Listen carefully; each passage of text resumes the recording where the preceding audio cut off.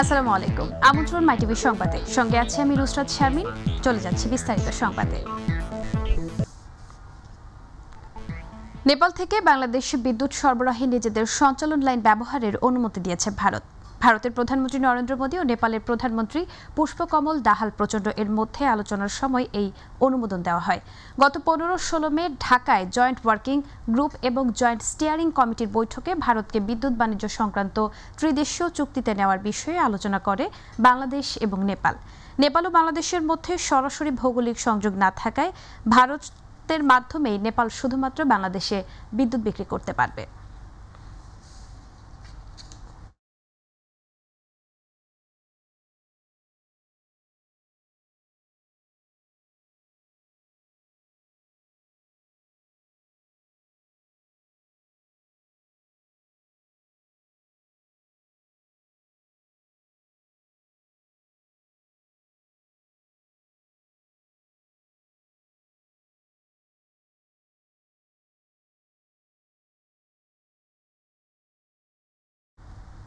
বর্তমানে চ্যালেঞ্জিং সময় পার করছে দেশের অর্থনীতি।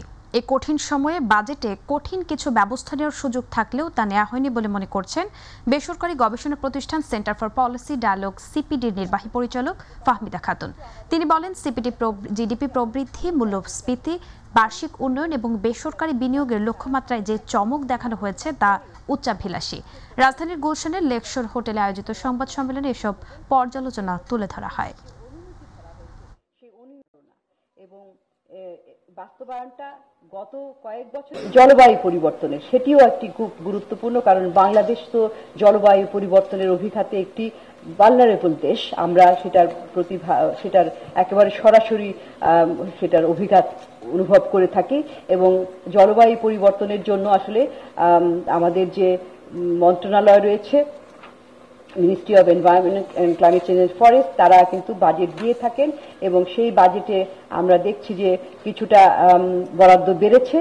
দুই হাজার বাইশের তুলনায় দুই হাজার তেইশে বরাদ্দটা বেড়েছিল এবং কিন্তু আমরা দেখতে পাচ্ছি যে জিডিপির তুলনায় কিন্তু দুই হাজার বাইশ তেইশের তুলনা করলে দুই হাজার তেইশে সেটা কম হয়েছিল দর্শক, বাজেট নিয়ে প্রতিক্রিয়া ব্যক্ত করছেন তথ্য ও সম্প্রচার মন্ত্রী ডক্টর হাসান মাহমুদ। আমরা সরাসরি চলে যাচ্ছি সেখানে।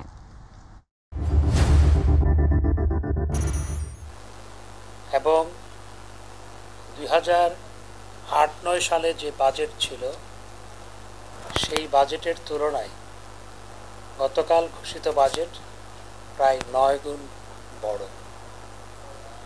এবং পিপিপিতে আমাদের যে জিডিপির আকার ছিল দুই হাজার নয় সালে, বর্তমানে জিডিপির আকার প্রায় তার দশ গুণ বড়। একশো বিলিয়ন থেকে ওয়ান ট্রিলিয়ন প্লাস এখন জিডিপির আকার পিপিপিতে এটি নিঃসন্দেহে দেশের উন্নয়ন, অগ্রগতি, সমৃদ্ধিরই পরিচায়ক। এবং এবারকার বাজেট প্রণয়ন একটি চ্যালেঞ্জ ছিল। কারণ বিশ্বময় অর্থনৈতিক মন্দা, বিশ্বময় ডলার সংকট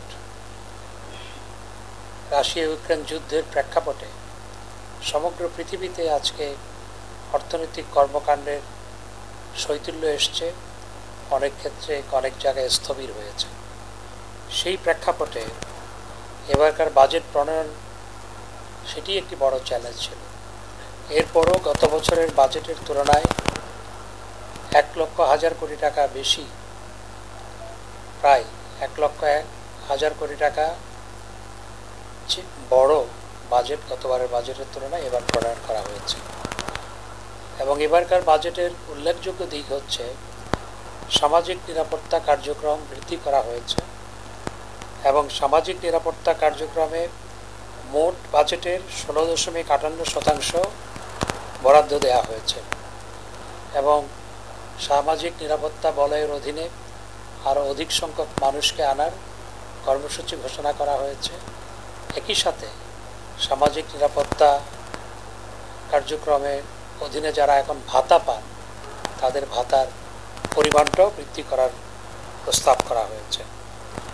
এবং এবারকার বাজেটের আরও দুটি উল্লেখযোগ্য দিক হচ্ছে, স্বাস্থ্য খাতে গতবারের বাজেটের তুলনায় বরাদ্দ বাড়ানো হয়েছে, শিক্ষা খাতে গতবারের বাজেটের তুলনায় বরাদ্দ বাড়ানো হয়েছে এবং এবারকার বাজেটের সবচেয়ে বড় উল্লেখযোগ্য দিক হচ্ছে, এই অর্থ বছর থেকেই সার্বজনীন পেনশন ব্যবস্থা চালু হবে। যেটি এই সার্বজনীন পেনশন ব্যবস্থা চালুর ঘোষণা মাননীয় প্রধানমন্ত্রী বঙ্গবন্ধু কন্যা, জননেত্রী শেখ হাসিনার চিন্তাপ্রসূত কোনো রাজনৈতিক দল এভাবে সার্বজনীন পেনশন ব্যবস্থা চালু করার জন্য দাবি দেয়নি। বিএনপির দাবি দেওয়া আপনারা জানেন, তত্ত্বাবধায়ক সরকার, নির্বাচন কমিশন, খালেদা জিয়ার স্বাস্থ্য, খালেদা জিয়ার মুক্তি, তারেক জিয়ার শাস্তি, এগুলোর মধ্যে সীমাবদ্ধ। জনমানুষের দাবি তাদের কোনো সময় থাকে না, ছিল না। দর্শক, আমরা এতক্ষণ ছিলাম তথ্য ও সম্প্রচার মন্ত্রী ডক্টর হাসান মাহমুদের করা সংবাদ সম্মেলনে। এবার চলে যাচ্ছি অন্যান্য প্রসঙ্গে। সিলেট সিটি কর্পোরেশন নির্বাচনে প্রার্থীদের মধ্যে প্রতীক বরাদ্দ দেওয়া হয়েছে। প্রথমে মেয়র পদের সাতজন প্রার্থীর মাঝে প্রতীক বরাদ্দ দেওয়া হয়। এদের মধ্যে দলীয় মনোনীত চার প্রার্থীর মধ্যে আওয়ামী লীগের আনোয়ারুজ্জামান চৌধুরী নৌকা, জাতীয় পার্টির মনোনীত প্রার্থী নজরুল ইসলাম বাবুল লাঙ্গল, ইসলামী আন্দোলন বাংলাদেশ মনোনীত প্রার্থী হাফিজ মাওলানা মাহমুদুল হাসান, হাতপাখা এবং জাকির পার্টির মোহাম্মদ জহিরুল আলম দলীয় প্রতীক গোলাপফুল মার্খায় নির্বাচন করবেন। বাকি তিন মেয়র প্রার্থীদের মধ্যে আজ প্রতীক বরাদ্দ দেওয়া হয়েছে। এদিকে রাজশাহীতেও সিটি নির্বাচনকে ঘিরে প্রতীক বরাদ্দ দেওয়া হয়েছে আজ।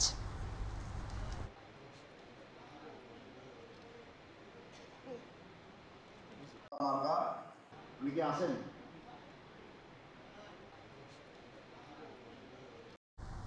দর্শক সিলেট থেকে এই মুহূর্তে যুক্ত হচ্ছেন প্রতিনিধি মৃণাল কান্তি দাস। মৃণাল প্রতীক বরাদ্দের কি খবর আছে আপনার কাছে? আমাদের জানান।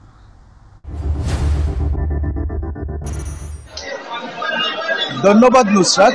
আসন্ন সিলেট সিটি কর্পোরেশন নির্বাচন উপলক্ষে যারা মেয়র কাউন্সিলর এবং মহিলা কাউন্সিলর পদে নির্বাচন করবেন, তাদের মধ্যে আজ সকাল থেকেই কিন্তু প্রতীক বরাদ্দ চলছে। আমরা রয়েছি রিটার্নিং কর্মকর্তার কার্যালয়ের সামনে। আমি যদি আপনাদেরকে এখানে একটু দেখানোর চেষ্টা করি এবং আপনার মাধ্যমে যদি মাইটিভির দর্শকদের জানাতে চাই প্রতিদ্বন্দ্বী মেয়র, সংরক্ষিত ও সাধারণ ওয়ার্ডের কাউন্সিলর প্রার্থীদের মধ্যে প্রতীক বরাদ্দর পরপরই কিন্তু শুরু হবে প্রচার যুদ্ধ।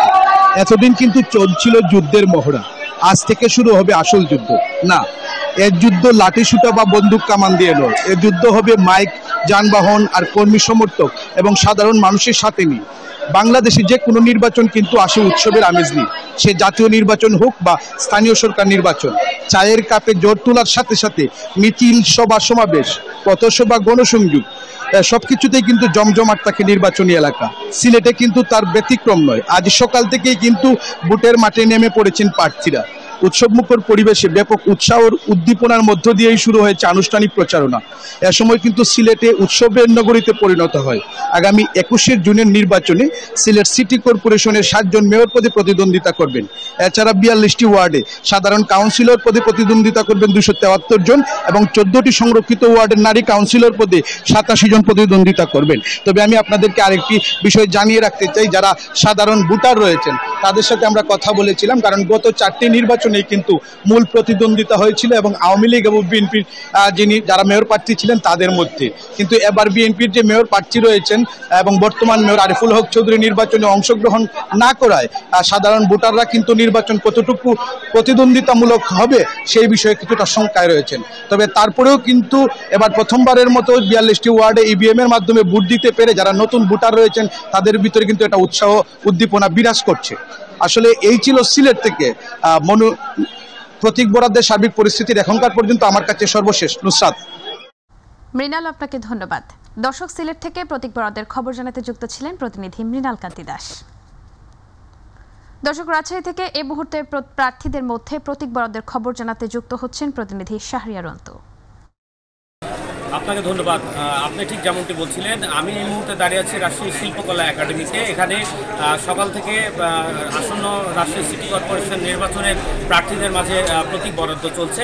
আমি যদি একটু দেখাতে চাই যে পিছনে দেখেন যে প্রার্থীদের মাঝে প্রতীক বরাদ্দ চলছে ইতিমধ্যে চার চারজন মেয়র প্রার্থীর মাঝে প্রতীক বরাদ্দ ইতিমধ্যে সম্পন্ন হয়েছে এবং নারী কাউন্সিলরদের মাধ্যমেও তাদের প্রতীক বরাদ্দ শেষ হয়েছে এবং এখন সাধারণ ওয়ার্ড সদস্য যারা আসলে আছেন তাদের মাঝে প্রতীক বরাদ্দ চলছে। আমি আরেকটু কথা জানিয়ে রাখতে চাই যে আমার কথা হয়েছে রাজশাহীর যিনি রিটার্নিং কর্মকর্তা উনি আমাদের যেটি জানিয়েছেন যে আজ থেকে নির্বাচনী যে আনুষ্ঠানিকতা এই আনুষ্ঠানিকতা প্রার্থীরা তাদের এলাকায় চালানো শুরু করবেন এবং ব্যানার ফেস্টুন তারা ব্যবহার করতে পারবে এবং নির্বাচনী যে আচরণবিধি সেই আচরণবিধি কোনো প্রার্থী যদি লঙ্ঘন করে সেই তথ্য যদি তাদের কানে আসে তাহলে অবশ্যই তারা সেই প্রার্থীদের বিরুদ্ধে ব্যবস্থা নিতে বাধ্য থাকবে। তো দর্শক, এই ছিল আমার কাছে রাজশাহী থেকে নির্বাচনের প্রতীক বরাদ্দের শেষ সংবাদ। অন্তু, আপনাকে ধন্যবাদ। দর্শক, রাজশাহী থেকে প্রতীক বরাদ্দের খবর জানাতে যুক্ত ছিলেন প্রতিনিধি শাহরিয়ার অন্তু। বরিশালেও সিটি নির্বাচনকে ঘিরে চলছে প্রচারণা। এ মুহূর্তে আমাদের সঙ্গে যুক্ত হচ্ছেন সহকর্মী পারভেজ রাসেল। পারভেজ, সিটি নির্বাচনকে ঘিরে সর্বশেষ কি খবর আছে আপনার কাছে?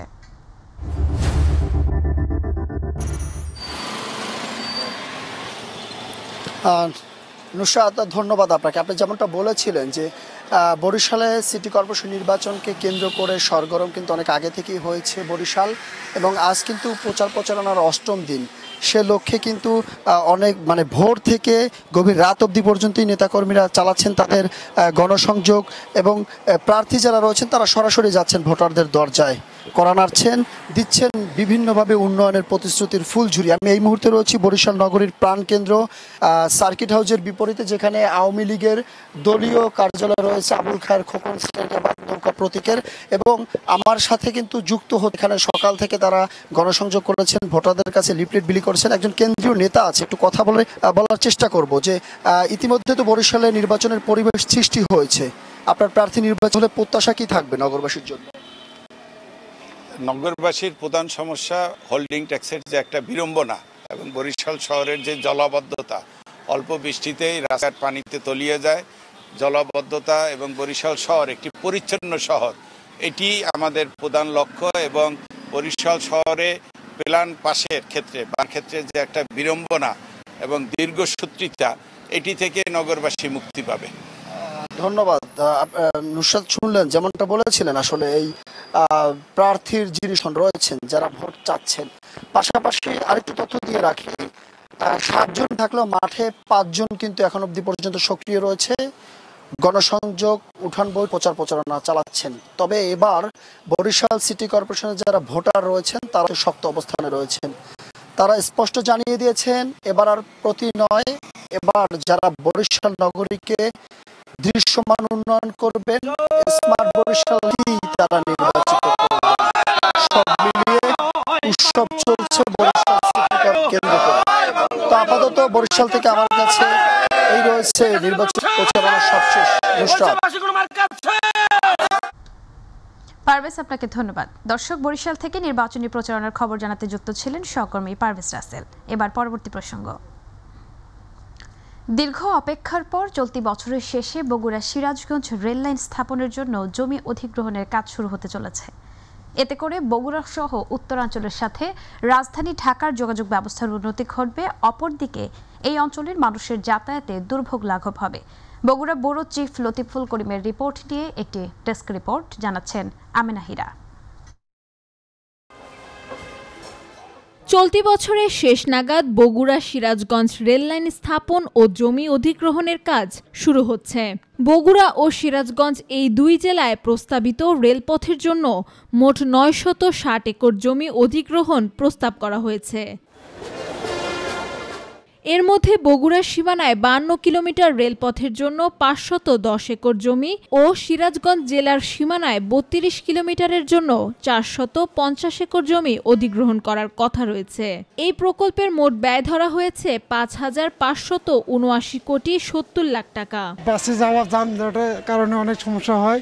আমরা চাই যে রেলটা চালু হোক। বগুড়াবাসীর জন্য দীর্ঘদিনের দাবি ছিল সিরাজগঞ্জ হয়ে ঢাকা যোগাযোগ রেল লাইনটা। তো আজকে সেটা বাস্তবতায় চলে এসছে ইনশাল্লাহ। এই রেলপথ নির্মাণ হলে শিল্পের শহর বগুড়া ও উত্তরাঞ্চলের যোগাযোগ ব্যবস্থার উন্নতি হবে। পাশাপাশি ব্যবসা ও শিল্পের প্রসার ঘটবে বলে মনে করেন এলাকাবাসী। বগুড়া টু সিরাজগঞ্জ হইলে সময় সাশ্রয়ী হবে। রেলপথ হলে আমাদের সুবিধা হবে। প্রচুর কাঁচামাল উৎপাদন হয়। এই কাঁচামালটা ঢাকাতে খুব দ্রুত গতিতে পৌঁছে যাবে। যাত্রীদের সময় ও দুর্ভোগ কমাতে নতুন রেলপথ গুরুত্বপূর্ণ ভূমিকা রাখবে বলে মনে করেন এই প্রকৌশলী। বর্তমান রেলওয়েতে মন্ত্রাল স্টেশনে পৌঁছাইতে সময় লাগে প্রায় চার ঘণ্টা এবং দূরত্ব একশো বিরানব্বই কিলোমিটার। নতুন রেলপথ নির্মাণ হলে বগুড়া থেকে সিরাজগঞ্জ বাহাত্তর কিলোমিটার যেতে প্রায় আমাদের সময় লাগবে দেড় ঘণ্টা প্রায় আড়াই ঘণ্টা সময় বাঁচবে। Amina Hira my TV news desk একসময় ইলিশের জন্য বিখ্যাত ছিল রাজবাড়ির গোয়ালন্দ উপজেলা। বর্তমানে পদ্মা নদীতে আগের মতো মাছ পাচ্ছে না জেলেরা। এতে রাজবাড়ির প্রায় চোদ্দ হাজার জেলে পরিবারে অভাব অনটন বেড়েছে। বর্ষা ছাড়া বাকি মৌসুমগুলোতে পদ্মায় মাছ প্রায় মিলছে না বলে দাবি জেলেদের। তবে গোয়ালন্দ উপজেলা মৎস্য কর্মকর্তা বলছে, নদীতে চর জেগে ওঠা এবং শুষ্ক মৌসুমে পানি কমে যাওয়ায় পাওয়া যাচ্ছে না মাছ। প্রতিনিধি শেখ মমিনের রিপোর্ট জানাচ্ছেন শামস তাবিজ উচ্ছ্বাস। একসময় রাজবাড়ির গোয়ালন্দ উপজেলার পদ্মা নদীর ইলিশের বেশ সুনাম ছিল। শুধু ইলিশই নয় অন্যান্য মাছের সুনামও ছিল দেশ জুড়ে কিন্তু সেই ঐতিহ্য হারাতে বসেছে গোয়ালন্দ তথা রাজবাড়ি। পদ্মায় সৃষ্টি হচ্ছে অসংখ্য ডুবোচর। ফলে এখন আর আগের মতো জেলের জালে ধরা পড়ছে না সেই সব মাছ। হতাশার মধ্যেই দিন পার করতে হচ্ছে জেলেদের। আগে আমরা নদীতে যেতাম ইলিশ মাছ মারতাম ইলিশ মাছ অনেকই পাতাম। এখন বর্তমানে ইলিশ মাছ নাই নদীতে। খুব অভাবের মধ্যে আছি এখন আমরা মনে করেন নৌকা জাল ঋণ পান হয় আমরা খাই। নদীর পার কারও কোনো চাহিদা নেই। আমরা চলায় খুব কষ্ট হইতেছে চলার মতো কোনো কৌশল নেই। নদীতে মাছ না মেলায় এখন দিন কাটাতে হচ্ছে অর্থাহারে অনাহারে। তাদের দাবি এই সময় সরকারি সহায়তা দেওয়ার কথা থাকলেও তা পাননি তারা। মাছের আড়ত থেকে দুই লাখ টাকা আমাদের দাদন না। এখন তো আগের মতন মাছ ধরতে পারি না। আগে বিভিন্ন পদের মাছ পাইছি বড় ছোট ঝাঁকে ঝাঁকে মাছ পাইছি নদীতে পানি নাই মাছও নাই। আমরা খুব কষ্টের ভিতরে আছি। আমরা বাঘ বাঘি নিয়ে নয় নয়জন দশজন করে মানুষ লাগে। নিয়ে আমরা চলিয়ে বেড়তেছি না। পদ্মা ব্রিজ ওখান থেকে মাছ উঠছে এখন আহে না বেশি। খুব অসুবিধা মাছ আগে আগে আগে চাইনি মাছ নেই অনেক নদীতে পানি কমে যাওয়ায় আর ডুবোচরের কারণে পদ্মা ইলিশ ও অন্যান্য প্রজাতির মাছ কমে গেছে বলে জানিয়েছে এই মৎস্য কর্মকর্তা। ডুবোচরি থাকার কারণে পদ্মা নদীতে ইলিশের বিচরণ কম হয়েছে এবং যার ফলে জেলেরা ইলিশ আহরণ খুবই কম করছে নদীর গভীরতা ও স্রোতের প্রবাহ বাড়াতে কার্যকরী পদক্ষেপ নিলে ইলিশের প্রজনন বাড়াতে পারবে বলে মনে করছেন সংশ্লিষ্টরা। শামস্তা ব্রিজ উচ্ছ্বাস মাই টিভি নিউজ ডেস্ক। লাগামহীন দ্রব্যমূল্যের বাজার দফায় দফায় বাড়ছে নিত্যপণ্যের দাম। পেঁয়াজ তেল চিনি সবজি মাছ মাংস সকল পণ্যের দাম এখনও চড়া। তাই বাজেট ঘোষণার পর এখনও নতুন করে বাড়েনি নিত্যপণ্যের দাম। তবে সপ্তাহখানেক পরই আরেক দফায় দাম বাড়াতে পারে বলে আশঙ্কা ভোক্তাদের। আমিনা হিরার রিপোর্ট। নিত্যপণ্যের বাজারে লাগামহীন দামে নাভিশ্বাস উঠে গেছে ভোক্তাদের। পেঁয়াজ চিনি তেল ডিম সবজি মাছ মাংস সহ সকল পণ্যের দাম বাড়ছে দফায় দফায়। অস্বাভাবিক মূল্যবৃদ্ধিতে তাই অসন্তোষ ভোক্তারা। তা আমরা গরিব মানুষ গরু খাইতে মন চাই তা খাইতে পারি না। এই প্রতিদিন দাম বাড়তেছে। তাহলে আমরা কি করে খাব? চাউলের দাম আগেছে একটু কম হ্যাঁ? অন্য অন্য কাঁচা বাজারের দাম বেশি। তাহলে সামান্য ওই যে মোটা চাউলটা ওটা কেজি প্রতি দুই টাকা বাড়ছে। আর নয় সব চালের দাম একই রকম আছে। নতুন বাজেটের আগেই বেড়েছে নিত্যপণ্যের দাম। তাই বাজেট ঘোষণার পরপরই এখনও তার প্রভাব পড়েনি বাজারে। বাজেটের জন্য অপেক্ষা করে না কারণ সবাই ধরে নেয় যে বাজেট মানেই সেটা হলো যে জিনিসের দাম বাড়বে নতুন বাজেটের প্রভাব এখনও পড়ে নাই হয়তো পরে পড়বে। ব্যবসায়ীরা বলছেন নতুন বাজেটের প্রভাব দ্রুতই বাজারে পড়বে যার ফলে আগামী সপ্তাহে বাড়তে পারে বেশ কিছু পণ্যের দাম। গতকালকে যে বাজেট পেশ হয়েছে এখন যা বাড়ার তো আগে বাড়িয়ে রয়েছে। যেমন আদা রসুন পেঁয়াজ চিনি তেল এগুলি আটা ময়দা এগুলির দাম আগে বাড়া রয়েছে বাজারে ওরকম প্রভাবটা এখনও দেখিনি কিন্তু আমরা আশা করতেছি যে রবিবার যেহেতু সাপ্তাহিক শুরু অতএব ওই ক্ষেত্রে রবিবার আমরা আশা করতেছি বাজারে একটু অস্থিতিশীল কাজ করবে। নতুন বাজেটকে পুঁজি করে যেন অসাধু ব্যবসায়ীরা সব ধরনের পণ্যের দাম বাড়াতে না পারে তাই বাজার মনিটরিংয়ের দাবি ভোক্তাদের। Amina Hira My TV Dhaka. চট্টগ্রামের কর্ণফুলী উপজেলায় বাস সিএনজি অটোরিকশার মুখোমুখি সংঘর্ষে মা ছেলে নিহত হয়েছে।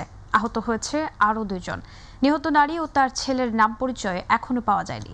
গতকাল কর্ণফুলী বড় উঠান ইউনিয়নের ডাকপাড়া এলাকায় ঘটে এই দুর্ঘটনা। দুর্ঘটনার পর স্থানীয়রা তাদের উদ্ধার করে চট্টগ্রাম মেডিকেল কলেজ হাসপাতালে নিয়ে গেলে সেখানে ছেলেকে মৃত ঘোষণা করেন চিকিৎসকরা। কর্ণফুলী থানার ভারপ্রাপ্ত কর্মকর্তা দুলাল মাহমুদ জানান, মরদেহ উদ্ধার করে আনোয়ারা থানা পুলিশের কাছে হস্তান্তর করা হয়েছে।